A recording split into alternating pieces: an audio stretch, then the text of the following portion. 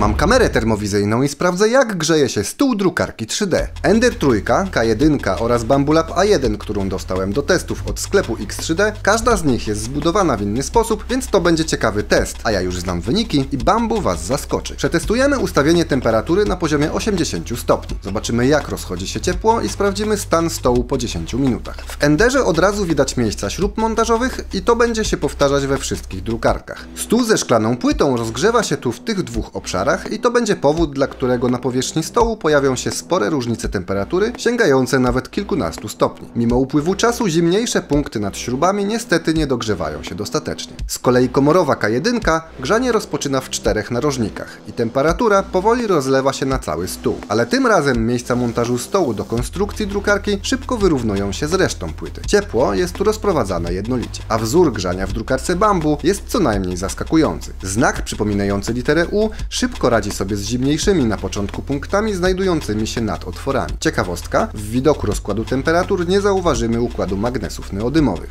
Ten nietypowy kształt grzałki sprawia, że środek płyty jej tył jest dogrzany nieco mocniej niż ten obszar z przodu, gdzie mamy różnicę około 7-8 stopni.